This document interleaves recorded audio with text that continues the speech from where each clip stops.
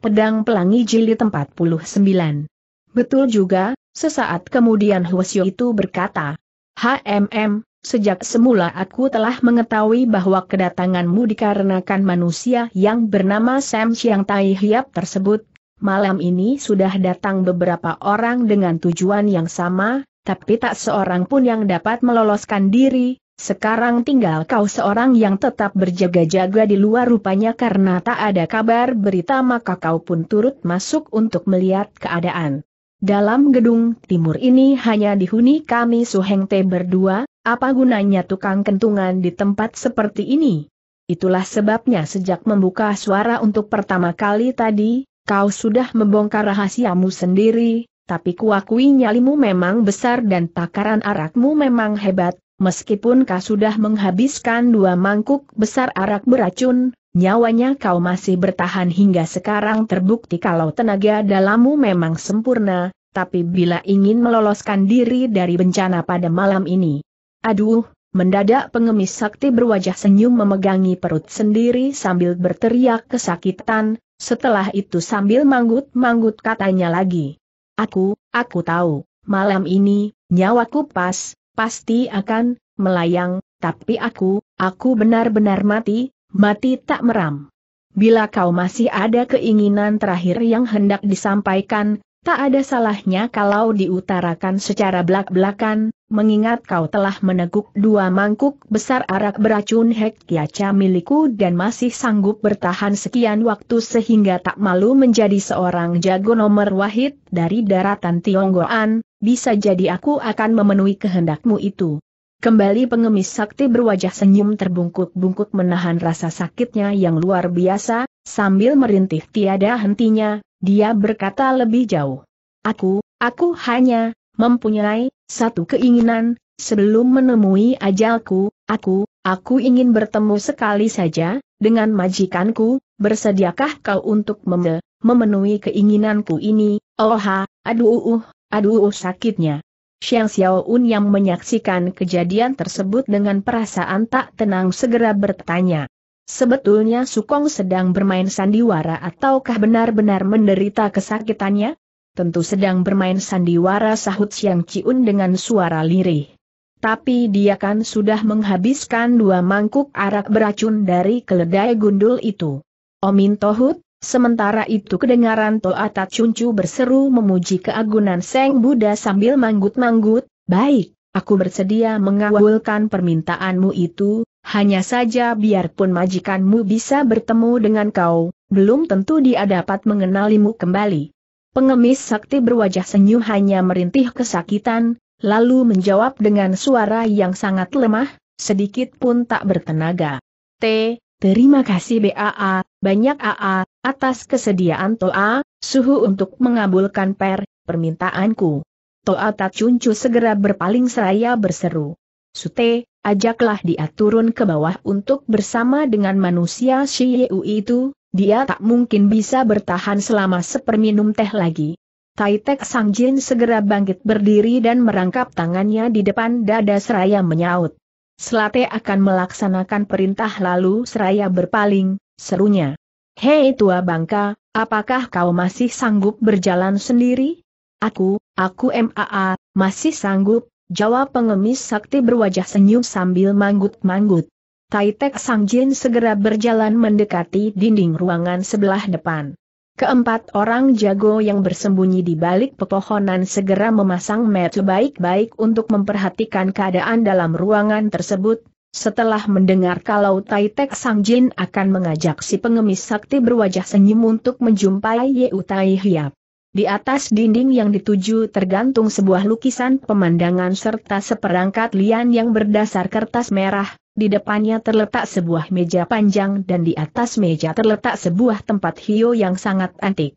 Waktu itu Tai Tek Sang Jin membuka penutup hiolo antik tersebut, Tahu-tahu saja dari dinding sebelah kanan telah muncul sebuah pintu rahasia tanpa menimbulkan sedikit suara pun.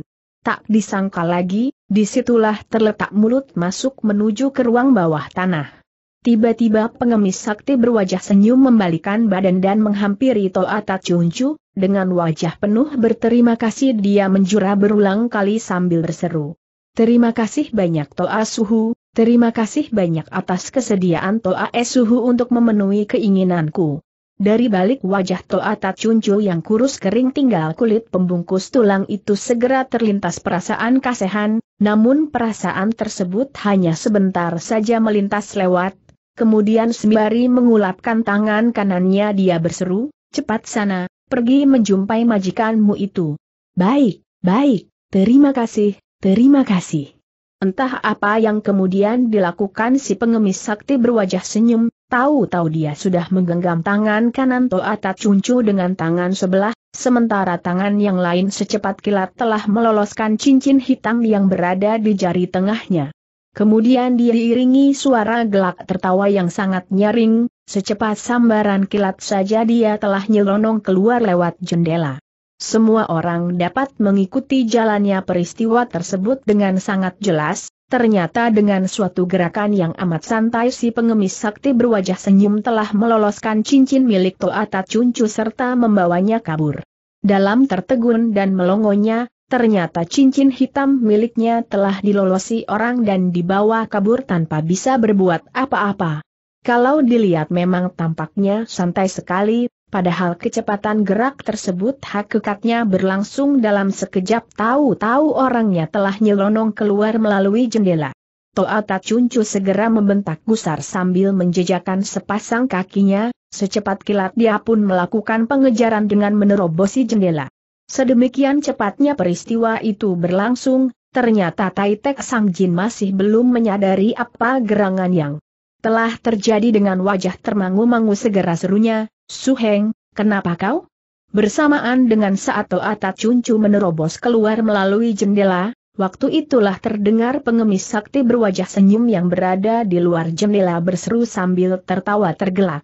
Haa, haa, Toa Suhu, aku kembalikan semua pemberian arakmu tadi. Tiba-tiba saja terlihat semburan air berwarna kuning memancar keluar dari atap rumah, langsung menyambar ke wajah Toa Cuncu. Ternyata pengemis sakti itu sudah mendesak keluar arak beracun yang berada dalam perutnya dengan tenaga dalam, kemudian menyemburnya keluar untuk melukai musuh. Sementara itu tubuh Toa Cuncu sedang menerobos keluar dari jendela, selama tubuhnya masih berada di tengah udara, tentu saja amat sulit baginya untuk menghindarkan diri dari ancaman yang tiba. Berada dalam keadaan begini, Terpaksa dia harus melindungi batok kepalanya dengan ujung baju lengannya, semburan arak yang memancar datang itu pun segera menyambar di atas ujung baju lengannya bagaikan hujan panah.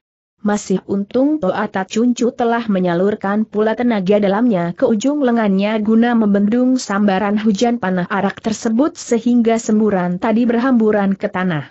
Nyatanya meski sudah menyambar ke atas lantai, Ternyata kekuatannya belum berkurang, begitu menyambar permukaan tanah lantai beranda itu pun sama-sama berlubang seperti diberondong oleh panah tajam.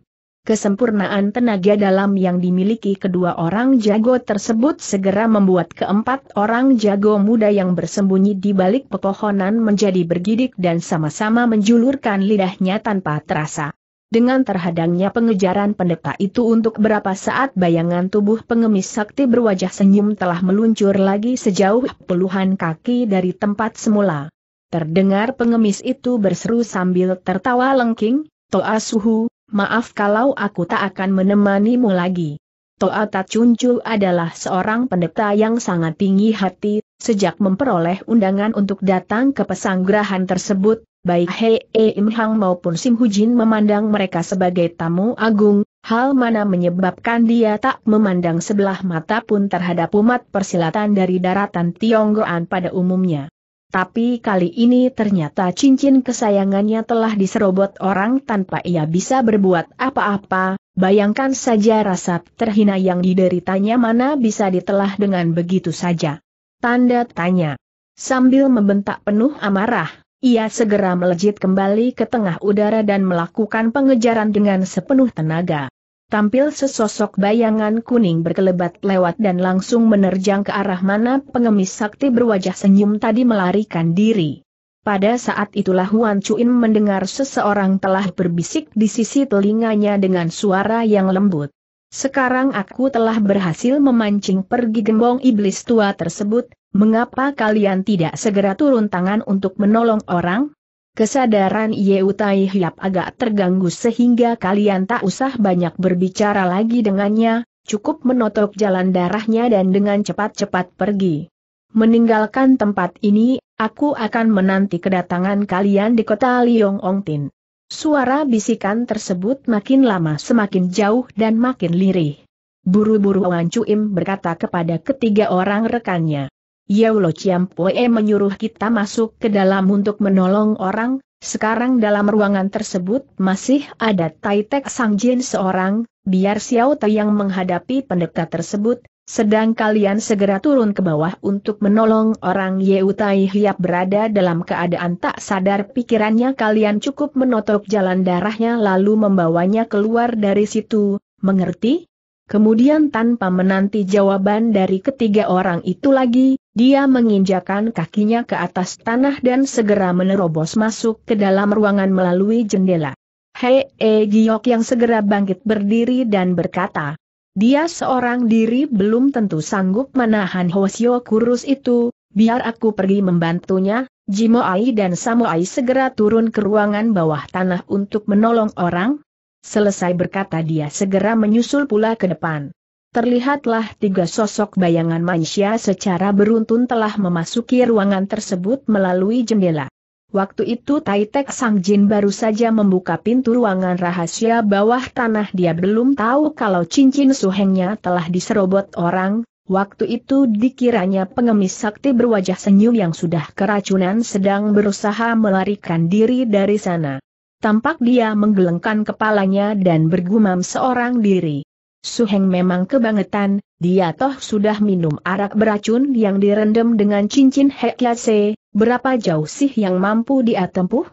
Baru selesai dia berkata, sesosok bayangan manusia telah menerobos masuk ke dalam ruangan melalui jendela. Tai Tek Sang Jin segera berseru. Suheng, apakah kau telah berhasil membereskan nyawa tua bangka itu? Sambil melayang turun di hadapan pendekar tersebut, Huan Chuim segera berseru dengan suara lantang. Aku adalah suhumu, bukan toa suhengmu.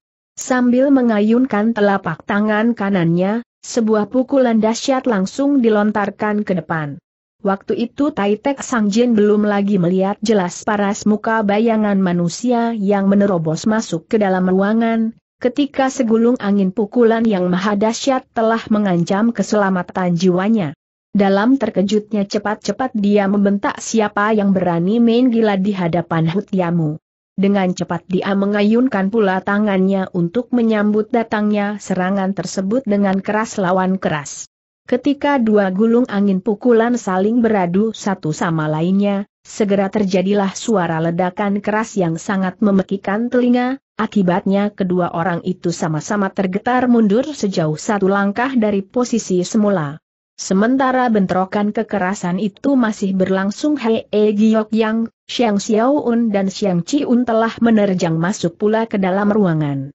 Rupanya mereka telah berunding secara baik, buktinya begitu tiba dalam ruangan tersebut, dua bersaudara Xiang langsung menerobos masuk ke dalam ruangan rahasia di bawah tanah.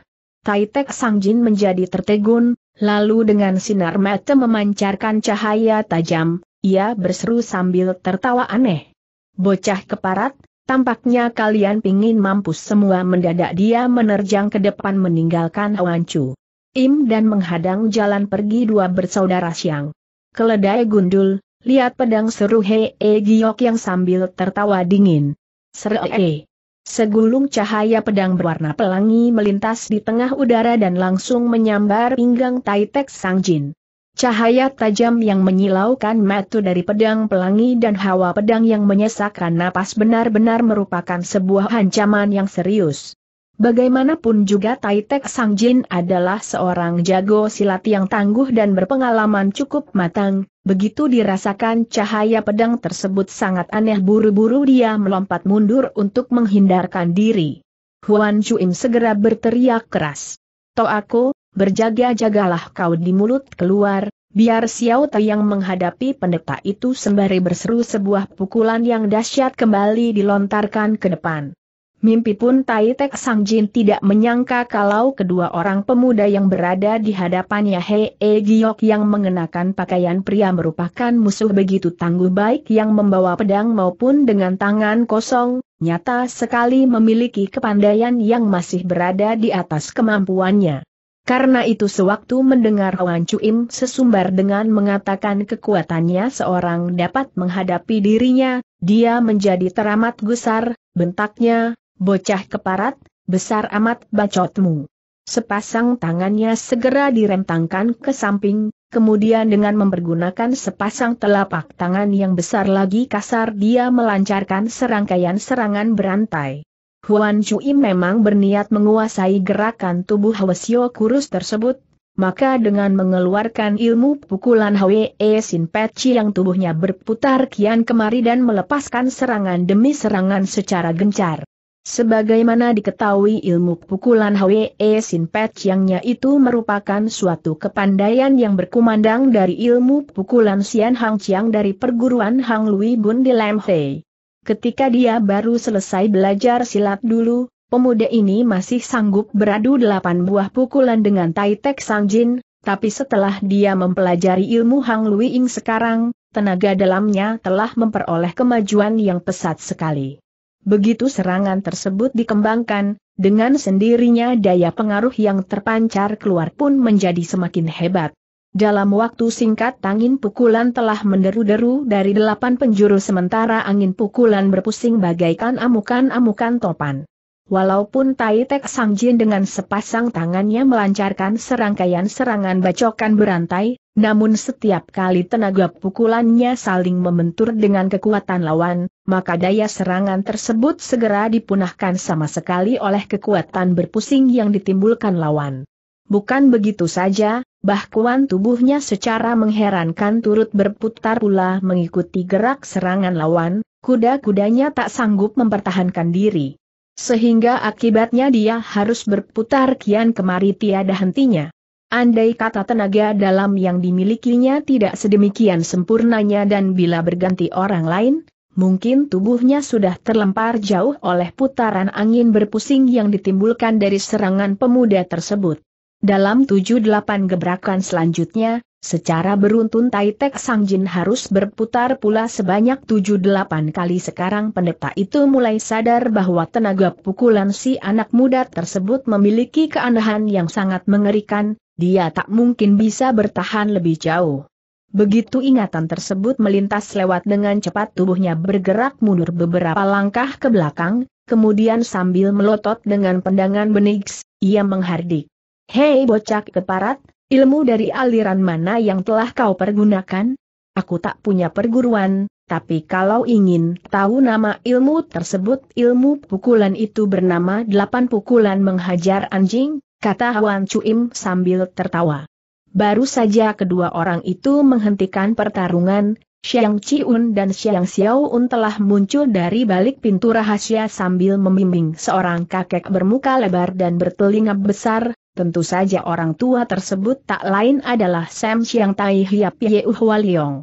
Buru-buru He E Giok yang berseru. Kalian berdua berangkatlah lebih dulu meninggalkan tempat ini, biar aku dan Samte menghadapi serangan lawan.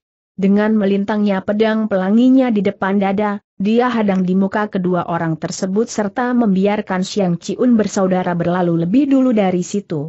Melihat ada dua orang lelaki muda berhasil menolong tawanannya dari ruang rahasia bawah tanah, Tai Tek Sang Jin menjadi gelisah bercampur gusar. Lah segera membentak keras, Sambil menghimpun segenap kekuatan yang dimilikinya dia rentangkan sepasang tangannya ke samping kiri dan kanan. Pukulan yang diayunkan ke arah kiri menghajar tubuh Huan Chuim, tentu saja tujuannya mencegah pemuda itu turun tangan, sementara itu serangan tangan kanannya dilontarkan ke tubuh He E Giok Yang. Serangan yang dilontarkan ke arah Huan Chuim segera menyambar tiba lebih dulu, dalam waktu singkat pemuda tersebut merasakan datangnya segulung tenaga tekanannya yang menyesakkan napas menghantam tiba kekuatan serangan tersebut dirasakan berbeda sekali dengan daya serangan pukulan biasa. Satu ingatan segera melintas di dalam benaknya, buru-buru dia berseru keras, Toako cepat mundur hati-hati dengan ilmu pukulan Tai Jioeng. Sambil berseru tangan kirinya melakukan gerakan menggapai ke tengah udara sementara tangan kanannya melakukan gerakan menggiring, dengan cepat pemuda itu mengeluarkan ilmu Hang Luingnya untuk menggiring ancaman tersebut ke arah lain. Kemudian berada di tengah jalan, dia gabungkan kedua gulung kekuatan angin pukulan yang dilancarkan Tai Tek Sang Jin tadi menjadi satu, kemudian setelah sepasang tangannya membuat gerakan melingkar di udara, dia kembali semua kekuatan serangan tersebut ke arah Tai Tek Sang Jin bentaknya kemudian, mari kita pergi. Sambil menarik tangan He E Giok Yang, cepat-cepat kedua orang mengundurkan diri dari situ dengan menerobosi jendela. Waktu itu, sesungguhnya Tai Tek Sang Jin telah melancarkan serangan dengan penuh amarah, kedua buah pukulan Tai Jiueng yang dilepaskan benar-benar memiliki daya kekuatan yang sangat mengerikan hati. Akan tetapi mimpi pun tak pernah menyangka kalau Huan Chuin mampu menerima kedua gulung tenaga pukulan tersebut kemudian mengembalikannya secara utuh kepadanya. Menanti dia sadar akan kekuatan serangan yang berbalik mengancam dirinya, serangan tersebut sudah meluncur datang seperti air bah yang menjebolkan tanggul, sama sekali tak mampu dibendung lagi. Tak terlukiskan rasa kaget yang dialaminya waktu itu, apalagi dia cukup mengerti sampai di manakah kemampuan dan kedahsyatan dari tenaga pukulan Tai Jiueng yang bergabung menjadi satu melanda datang bersama-sama itu. Dalam terkejut dan ngerinya, buru-buru dia menghindarkan diri dari ancaman itu. Dinding sebelah kanan yang kemudian terhajar oleh tenaga serangan tersebut segera jebol dan muncul sebuah lubang yang amat besar, hancuran batu bata dan debu pun berterbangan di mana-mana. Akibatnya seluruh tubuh Tai Tek Sang Jin menjadi terkena hancuran di debu dan pasir itu sampai sepasang matanya tak mampu dibuka kembali. Cepat-cepat dia menyeka wajahnya dari debu, lalu celingukan sekejap ke sekitar sana, kemudian setelah menyambar toya penakluk iblis yang diletakkan di sudut ruangan dia menjejakkan kakinya ke atas tanah, dan secepat kilat menerobos keluar dari ruangan itu lewat jendela.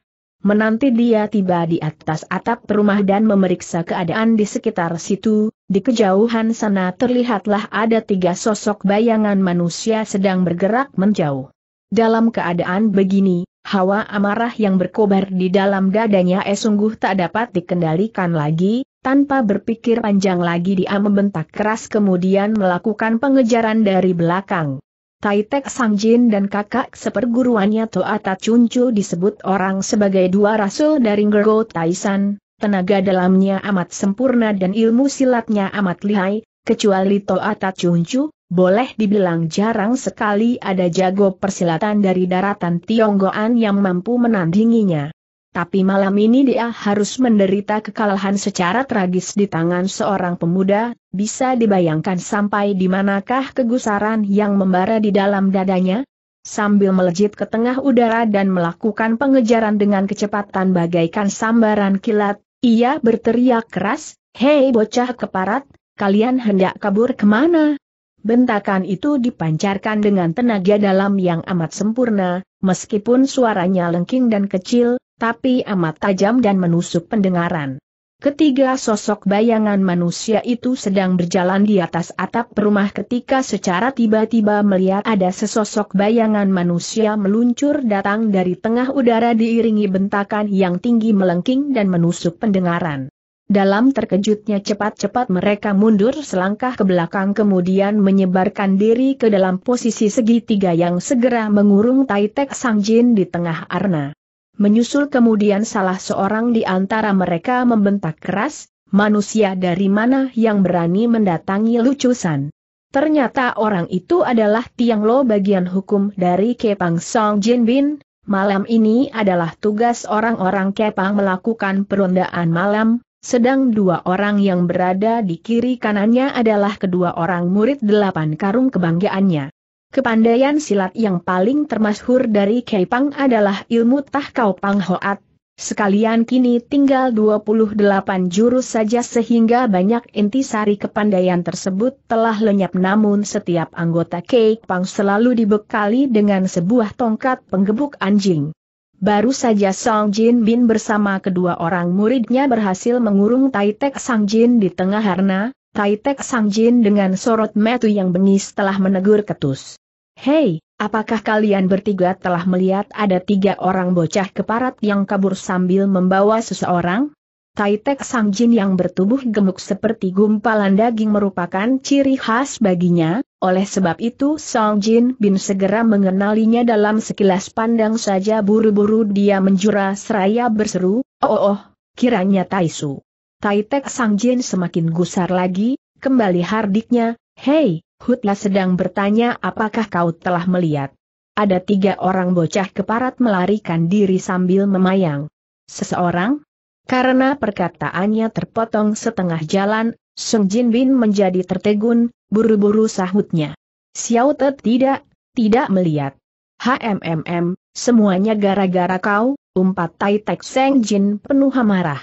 Mendadak dia melepaskan sebuah pukulan Tai Eng ke atas dada Song Jin Bin. Mimpi pun Song Jin Bin tidak menyangka kalau Tai Tek Sang Jin bakal melampiaskan semua kemarahan ke atas dirinya. Pukulan Tai Jiueng yang maha dahsyat itu persis menghantam di atas dadanya secara telak. Tak ampun lagi dia mendengus tertahan, kemudian roboh terjungkal ke atas tanah. Begitu melepaskan pukulannya, tanpa mempedulikan mati hidupnya lagi Tai Tek Sang Jin segera berlalu dari situ dengan kecepatan tinggi. Namun setelah perjalanannya terhenti sejenak mana mungkin ia bisa menyusul lawan-lawannya lagi? Dengan Huan Chuin mendapat tugas membopong tubuh Sam Siang Tai Hiap Yeu Hua Liong, berangkatlah He E Giok Yang, Xiang Chiun, Xiang Xiaoun, Ciu Buat dan Ciu Kui menuju ke arah selatan. Ketika hampir sampai di jembatan Kiut Tokiao, tampak di ujung jembatan duduklah seorang kakek bungkuk berbaju hitam. Ketika orang itu melihat kemunculan Huan Chuim dengan rombongannya, cepat-cepat dia berseru.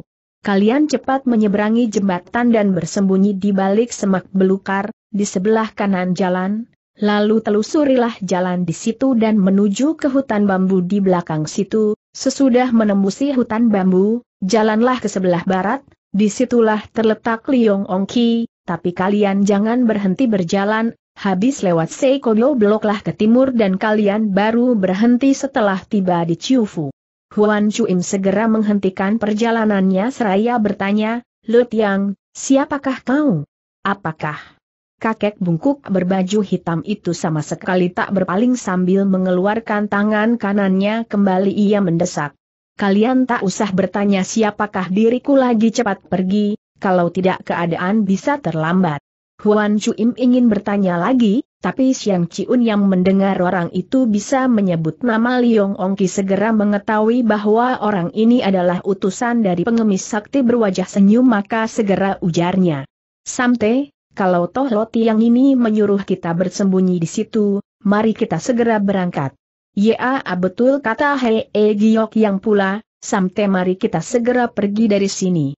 Tergegas-gegas keenam orang itu menuju ke sebuah rumah gubuk di sisi jalan di situ mereka temukan pintu yang setengah terbuka dan cepat-cepat menerobos masuk ke dalam. Biar aku yang masuk dulu seru Siang Xiaoun. Dengan suatu gerakan cepat dia mendului rekan-rekan lainnya menerobos masuk ke dalam. Xiang Ciun, Huan Chuim, Hei E Giok Yang, Ciu Guat dan Ciu Kui segera mengikuti di belakangnya. Betul juga di belakang sana yang terdapat sebuah pintu dan di luar pintu merupakan semak belukar yang lebat, disusul kemudian pada ujung semak belukar merupakan hutan bambu. Sambil berjalan He E Giok yang segera berseru, entah siapakah kakek bungkuk tadi? Aku lihat tangan kanannya kosong, bisa jadi lengan tersebut sudah buntung. Sementara kedua orang itu masih bercakap-cakap. Xiang Xiaoun telah mengintip dari balik semak belukar untuk memperhatikan situasi di ujung jembatan sana. Jarak dari semak sampai jembatan hanya berapa puluh kaki, waktu itu si kakek bungkuk tersebut sedang menyulut huncuenya dengan api, kemudian menghisapnya dalam-dalam. Dilihat dari kejauhan, percikan api pada huncuenya itu nampak seperti kilatan bintang yang bertaburan di angkasa. Di saat Xiang Xiaoun mengeritkan matu inilah, Entah sedari kapan tahu-tahu di atas jembatan telah bertambah dengan sesosok bayangan manusia yang tinggi besar. Ternyata orang itu tak lain adalah Toata Cuncu dari Bukit Enggo Taisan dengan perasaan terkejut buru-buru Siang Xiaoun menggapai ke belakang.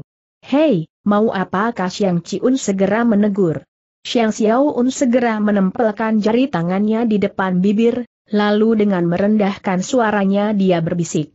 SSSTT, bajingan gundul itu telah menyusul sampai di sini. Ketika mendengar berita tersebut, serentak semua orang mengalihkan perhatiannya ke atas jembatan tersebut. Waktu itu si kakek bungkuk masih berada di ujung jembatan sambil menghisap huncuenya dengan santai dan penuh kenikmatan, walaupun Toata Cuncu telah melayang turun di atas kehadiran orang tersebut, jangan lagi menyapa, memandang sekejap ke arahnya pun tidak. Dengan tatapan yang tajam Toata Cuncu segera mengawasi orang itu sekejap kemudian tegurnya dengan suara lantang. Hei si tua, apakah kau melihat ada seorang kakek ceking lewat dari jembatan ini? Tampaknya kegagalannya untuk menyusul si pengemis sakti berwajah senyum selama ini membuat hawa amarahnya berkobar-kobar, teguran tersebut diucapkan dengan suara nyaring bagaikan gentak emas, sampai para muda-mudi yang sedang bersembunyi di dalam rumah gubuk pun dapat mendengar dengan jelas sekali. Pelan-pelan kakek bungkuk itu berpaling dan memandang ke arah Toata Cuncu, kemudian serunya keras-keras, Hei, apa kau bilang? Loalap sedang bertanya, apakah kau melihat ada seorang kakek ceking yang lewat dari jembatan ini? Kakek bungkuk itu segera menuding ke arah telinga sendiri, setelah itu katanya lagi. Aku tak bisa mendengar apa yang sedang kau katakan, coba tempelkanlah bibirmu di sisi telingaku dan ucapkan sepatah demi sepatah, dengan begitu aku baru dapat mendengar lebih jelas. Walaupun Toata Cuncu sedang dicekam oleh kegusaran yang meluap waktu itu, namun bagaimanapun jua dia tetap merupakan seorang pendeta saleh dari Bukit Enggo Taisan. Ketika dilihatnya kakek bungkuk itu adalah seorang cacat, sedang apa yang diucapkan tak terdengar pula olehnya, dengan jengkel dia segera mendepahkan kakinya berulang kali ke atas tanah. Blaam blaam.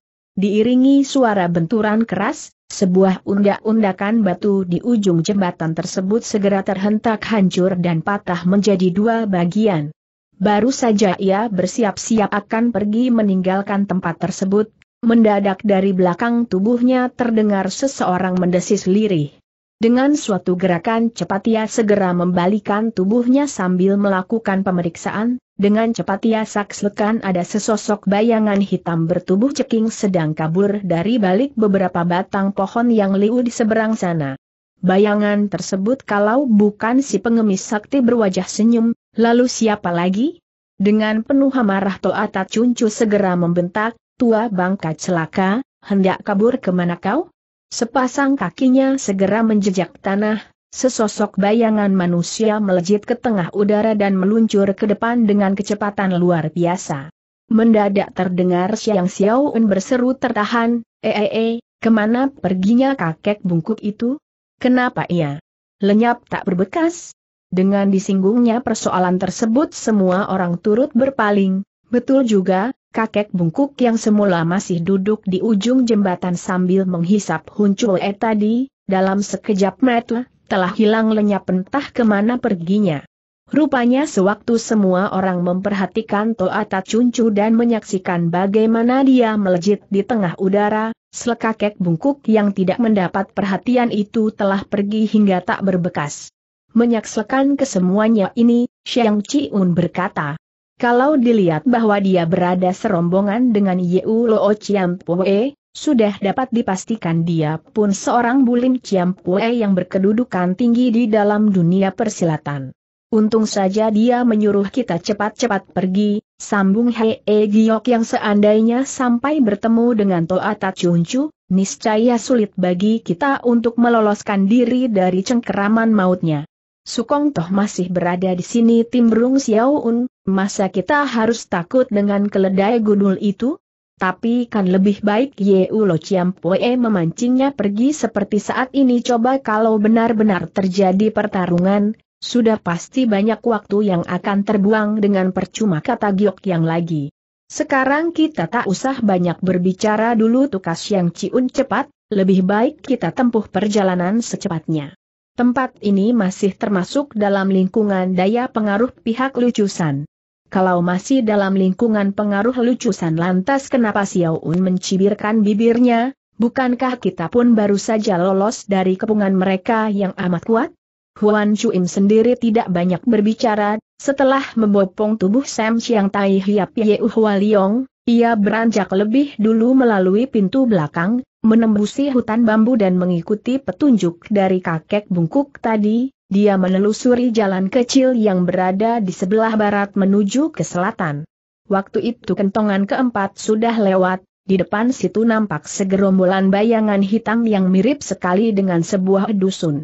Hei e Giok yang segera berkata, mungkin kota yang berada di depan sana adalah Liong Ongki, bagaimana kalau kita tunggu kedatangan Yeu Lo di sini? Aku rasa tidak perlu, jawab Siang Ciun, karena kita akan sudah membuktikan sekarang bahwa kakek bungkuk itu sejalan dengan Yeu Lo Chiam Poe, sebelum berpisah dengan kita di pesanggerahan keluarga He, dia memang berpesan agar kita menunggunya di Liong Ongki, sebab waktu itu mungkin dia merasa kota tersebut letaknya paling dekat tapi kemudian setelah menganggap tempat kurang aman, dia baru mengutus kakek bungkuk agar menunggu kita di ujung jembatan dan berpesan agar kita jangan menunggu di sini. Aku pikir sudah sepantasnya kalau kita turuti pesan dari kakek bungkuk tersebut. Hei e Giok yang segera menghela napas panjang. Aaai, di dalam menghadapi persoalan apa saja, penilaian pandangan Jimoai selalu paling jitu, aku benar-benar tak pernah menduga sampai ke situ. Ah ah ah, Toaci kelewat memuji diriku, aku tak lebih hanya sering kali mengikuti ayah berkelana di tempat luaran sehingga pengalamanku di dalam dunia persilatan jauh lebih matang dan luas ketimbang kalian semua. Yaa, bagi seseorang di samping harus membawa selaksa jilid kitab, dia pun harus menempuh perjalanan selaksali, dengan demikian pengetahuan serta pengalamannya baru akan bertambah, sayang semenjak kecil aku belum pernah keluar dari rumah. Demikianlah dengan menelusuri jalan raya mereka melewati kota Liong Ongki dan menempuh perjalanan sejauh 7-8 li lagi sebelum tiba di sebuah dusun lain sesuai dengan petunjuk dari kakek bungkuk, mereka segera berbelok ke sebelah timur. Tempat itu merupakan wilayah dusun yang paling sepi di sekitar sana, dengan menembusi keheningan mereka menempuh perjalanan lagi sejauh 20-an li. Huan Chuim yang berjalan di paling memuka tiba-tiba mendengar seseorang berkata dengan suara yang amat lirih.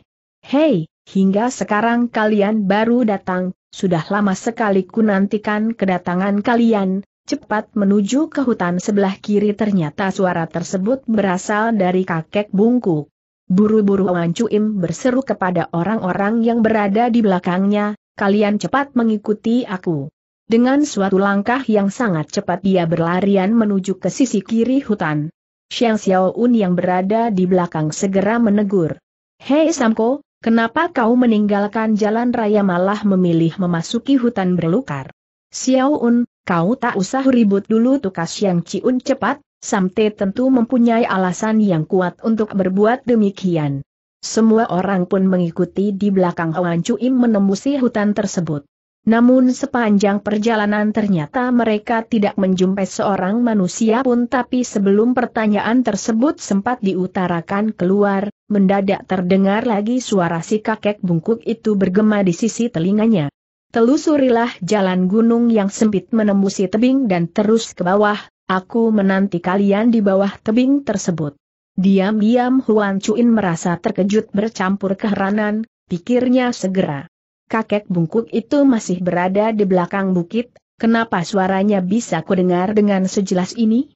Wah, tenaga dalam yang dimilikinya hebat sekali, dia pasti seorang tokoh persilatan yang berilmu sangat tinggi.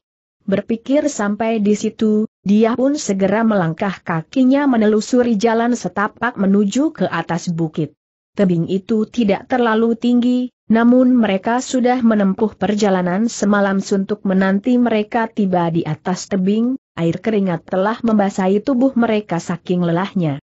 Waktu itu Fajar sudah hampir menyingsing, setitik cahaya merah mulai muncul di ufuk timur, semua orang tak tahu dalam semalaman itu sudah berapa jauh perjalanan yang telah mereka tempuh. Kini, setelah tiba di atas tebing dan terhembus angin fajar, semangat mereka terasa jauh lebih segar. Huan Cui menghembuskan napas panjang dan memimpin rombongannya menuruni tebing tersebut dan langsung menuju ke belakang bukit.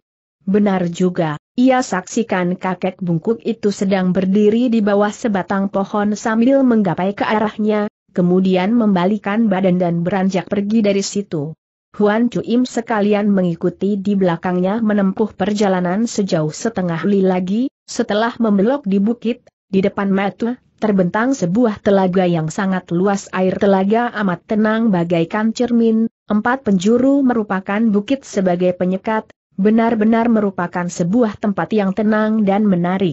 Di depan telaga belakang bukit terdapat sebuah hutan lebat di balik hutan lamat-lamat terlihat sudut dinding pekarangan rumah, Ternyata tempat tersebut merupakan sebuah perkampungan kecil yang lebih mirip dengan sebuah pertapaan.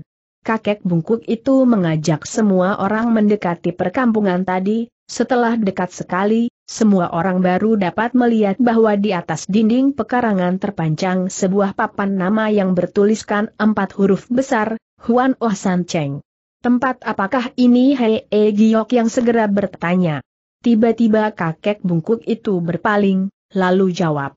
Tempat ini adalah rumah abu dari leluhur keluarga Li setiap tahun hanya pada hari Cheng Beng saja anak keturunan keluarga Li baru berkunjung kemari, di hari biasa di sini hanya dijaga seorang pengurus rumah tangga. Dalam gedung ini terdapat dua puluhan dua kamar tamu dengan perabot yang lengkap benda-benda itu disediakan untuk mereka yang datang berziarah. Yaulo Ciampoe merasa kalian sudah cukup lelah setelah semalaman suntuk tak tidur. Maka kalian boleh menggunakan tempat ini sebagai tempat pelepas lelah, jangan khawatir, tempat ini lebih nyaman daripada rumah penginapan. Waktu itu Fajar sudah mulai menyingsing di ufuk timur, setelah orang itu berpaling, semua orang pun dapat melihat jelas raut wajahnya. Ternyata orang ini mempunyai bentuk muka yang sangat aneh, pada jidat mukanya terdapat sebuah lekukan yang cukup dalam batang hidungnya putus setengah, kelopak matanya menonjol keluar dan memelihara jenggot model jenggot kambing. Lengan kanannya nampak sudah kutung karena ujung lengan bajunya nampak kosong bajunya berwarna hitam dan sangat longgar sehingga mendatangkan kesan misterius bagi siapa pun yang melihatnya. Ketika selesai berbicara, kakek bungkuk itu segera mengajak semua orang untuk melalui pintu samping kiri, lalu setelah menelusuri sebuah beranda panjang, mereka melewati sebuah taman yang penuh dengan aneka pepohonan dan bunga. Akhirnya mereka masuk lewat pintu bulat menuju ke sebuah ruang tamu yang luas. Di sana tersedia dua baris kursi, sedang di tengah terdapat dua buah meja panjang, segala sesuatunya nampak teratur rapi. Sambil mengulapkan tangannya kakek bungkuk itu berseru. Titik dua. Silahkan kalian duduk dulu. Kemudian kepada Huan Cuim katanya pula. Di belakang sana terdapat lima buah kamar, aku telah menyuruh si pengurus rumah tangga untuk membenahi pembaringan, sekarang bawalah Ye Utai Hiap untuk berbaring dulu di sana. Huan Cuin menurut dan berjalan di belakang, benar juga di sana terdapat lima buah kamar, maka dia pun membuka pintu kamar pertama dan membaringkan tubuh Yeu Hualiong di atas pembaringan, kemudian baru mengundurkan diri dari sana. Si pengurus gedung abu itu menyediakan sepoci air untuk mereka semua dan menyiapkan air teh, kalau tadi ia masih ngeri dan ketakutan setelah bertemu dengan si kakek bungkuk yang berwajah menyeramkan, karena disangkanya telah bertemu dengan perampok maka setelah bertemu dengan beberapa orang siangkong yang semuanya berwajah tampan dan berbadan anak sekolahan, hatinya menjadi lega kembali. Huan Chuin menunggu sampai kakek itu mengundurkan diri dari situ, kemudian ia baru menjura kepada kakek bungkuk itu seraya berkata, Terima kasih banyak atas petunjuk dari Lo Chiam Pue, tapi sampai sekarang Bo Ampue sekalian belum sempat mengetahui nama Lo Chiam Pue, bersediakah kau untuk memperkenalkan diri? Kakek bungkuk itu segera tersenyum. Aku adalah sahabat ayahmu selama belasan tahun lebih, apakah ayahmu belum pernah menyinggung tentang diriku? Buru-buru Wan Cuim memberi hormat seraya berkata, rupanya Empek adalah sahabat karib ayahku harap. Dimaafkan bila keponakan bersikap kurang hormat. Sesungguhnya ayahku telah meninggalkan rumah semenjak 13 tahun berselang dan hingga kini belum muncul kembali, bahkan kabar berita pun belum pernah kedengaran lagi. Tidak sampai perkataan itu selesai diucapkan, kakek bungkuk tersebut telah menukas dengan nada keheranan. Sejak meninggalkan rumah pada 13 tahun berselang, hingga kini belum ada kabar berita tentang ayahmu. Kalau begitu selama ini kau belum pernah menjumpainya. Yaa, sewaktu ayah lenyap dari rumah keponakan masih berusia sangat muda, walaupun sudah cukup lama keponakan berkelana dalam dunia persilatan untuk menelusuri jejak ayahku itu, namun hingga sekarang belum ada kabar beritanya yang berhasil kuperleh. Ehem, ehem, kakek bungkuk itu manggut-manggut berulang kali, sebetulnya tujuanku masuk ke perbatasan kali ini pun tak lain hendak mencari ayahmu, haah, haah. Ternyata Tian telah mengawulkan keinginanku itu, aku percaya pada saat pertemuan antara keponakan dengan ayahmu akan berlangsung dalam waktu singkat, nantikan saja saatnya. Dengan pandangan terharu Wan Cuin mengawasi kakek bermuka bengis, bungkuk dan berlengan kutung ini lekat-lekat, tanyanya kemudian, ada urusan apa empek mencari ayahku? Oh ha, tidak apa-apa, aku sengaja datang ke daratan Tionggoan ini, pertama untuk mencari ayahmu, dan selanjutnya ingin menengok pula ayahnya. Sambil berkata dia lantas menuding ke arah Hee Giok Yang. Apakah kau orang tua kenal juga dengan ayahku dengan? Wajah keheranan Giok yang segera bertanya. Kakek bungkuk itu segera tertawa tergelak. Haaah, haaah, haaah, bukan cuma kenal saja, boleh dibilang hubungan kami cukup rapat. Tapi Lo Chiam Poe masih belum menyebutkan namamu.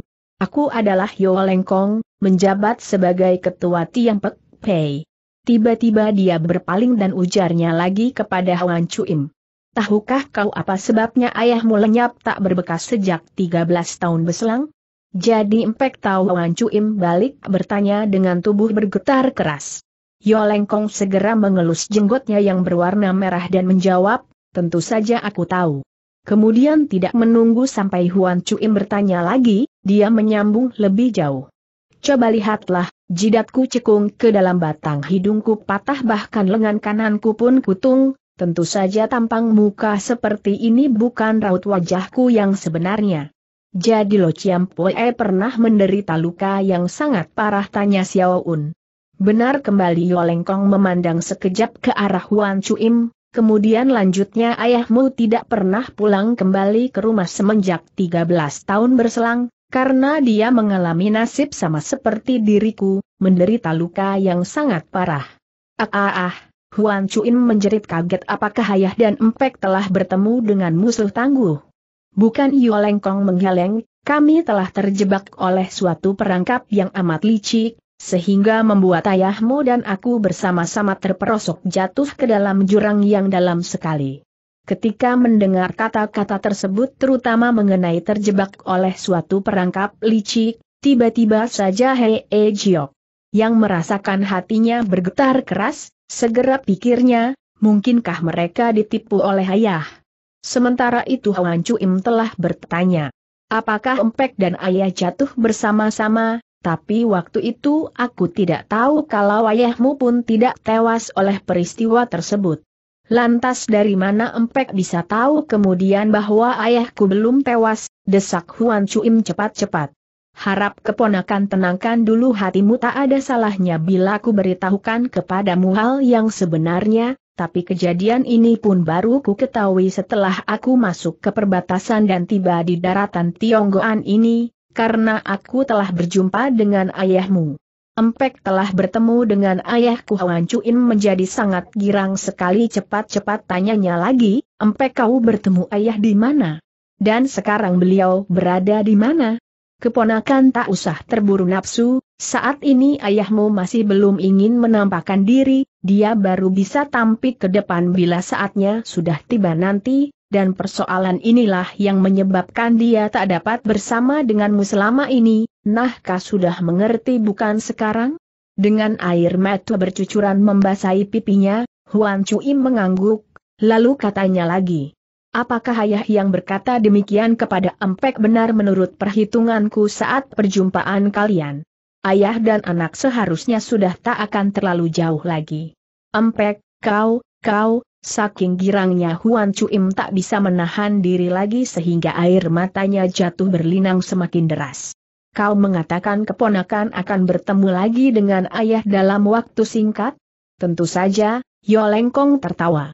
Lo Chiam Poe, Siapa sih orang yang telah mencelakai kalian waktu itu tiba-tiba Xiao Un bertanya. Yo Lengkong segera tersenyum. Soal belum bisa dibicarakan pada saat ini, AAI, di kemudian hari kalian toh bakal tahu dengan sendirinya. Selapis bayangan gelap semakin menyelimuti perasaan Hei Giok yang, kembali dia berpikir, entah betul kahayah?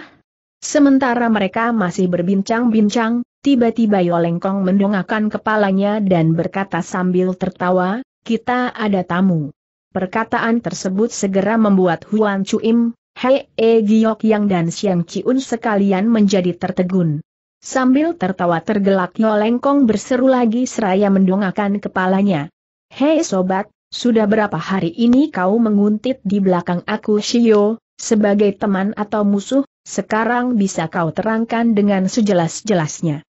Menyusul teguran itu, terdengar gelak tertawa nyaring berkumandang memecahkan keheningan, di tengah gelak tertawa itu tampak sesosok bayangan manusia meluncur masuk ke dalam ruangan dengan kecepatan bagaikan sambaran kilat. Tahu-tahu, di tengah ruangan telah bertambah dengan seorang lelaki ceking berjubah panjang dan berwajah penyakitan, hanya saja sepasang matanya memancarkan sinar yang amat tajam sekali.